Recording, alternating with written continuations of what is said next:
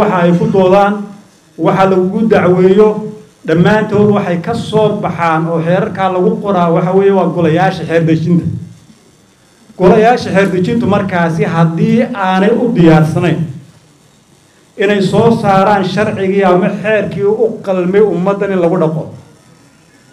Haddii aanay aqoonteedii iyo xirfadeedii haddii aanay lahayn runtii waxaa soo baxaa wuxuu noqonayaa wax dabaqaadiisu ay adkaato marka horta cidda koowaad ee aan ku dhiirigelinayo inay buuggaa si fiican loo akriyo waa golayaasha xeer dejinta.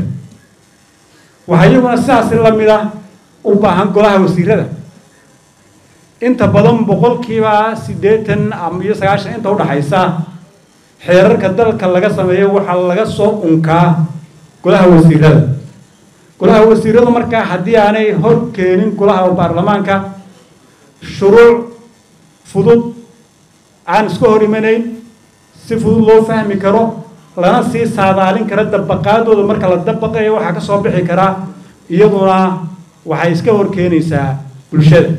Marka iyaguna runtii inay kaalintaasi ku xisaabtamaan oo ay si fiican isagana u daraaseeyaan waa ku talin lahaa.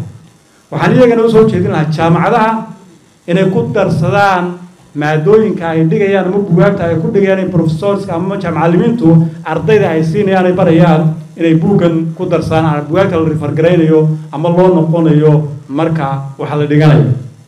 Marka buuggii buuggani runtii faa'iido badan badan badan buu leeyahay. Waxaan aan rabaa inaan ku soo gebagabeeyo siduu wasiir xasan macalin halkan uu kaga hadlay muhiimadda sharciga iyo garsoorku ay u leeyihiin bulshada. Runtii waa inaynu ogaano tallaabo kastoo aynu qaadayno waxay u baahan tahay sharci. Waxay u baahan tahay qaanuun.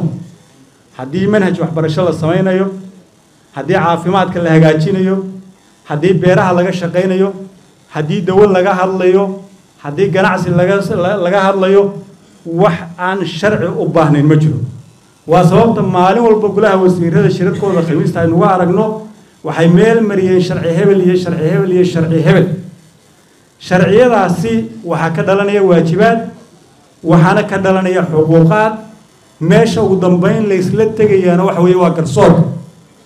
Markaa haddii aada diyaariso shuruuc laakiin aada diyaarin weydo halkii dabaqi lahayd halkii lagu kala bixi lahaa macnaheedu waxay noqonaysaa wax waraaqa iskaga qoran. Marka waxaan leeyahay ha la ogaado kaalinta uu garsoorku ku leeyahay dowladnimada iyo shuruucda aad samaynaysaan cidda dabaqaysa in iyaga tahay. Sidaas darteed waxay u baahan tahay in la siiyo mudnaanta iyo muhiimadda ay leedahay.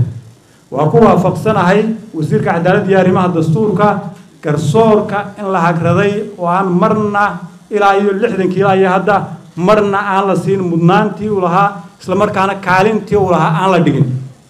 Markaa golayaasha kala duwan ee dowladda waxaan leenahay garsoorku inaynu hello garsoor madax bannaan hufan bulshadana cadaalad loo adeego qof kastuu danu yahay. Qofka maanta hay'ad jooga beri bannaankuu joogaa awooddu maanta leeyahay ma laha wuxuu u baahanayaa waa garsoor. Markaa garsoorkaasna dhammaanteen aynu u guntana sidaynu muhiimadda u leeyahay insha allahu tacaala aynu u siin lahayn si aynu u noqonno dowlad qaanuun aynaan u noqon dowlad qofof ay ka taliyaan waxaan ku soo gebagabaynayaa hawshii ugu dambeysay ee halkan lagaga hadlayey waxaan filayey maadaama haynta garsoorku ay yar tahay. Odayaashii fulinta ka joogay iyagu sanduuq iyo qisnada inoo hayana ay joogaan. War garsoorku waa duruuftiisa waa ogna annagaa damaanad qaadnay oo maaragtay ka culayskii ka qaadnay waa filaynay.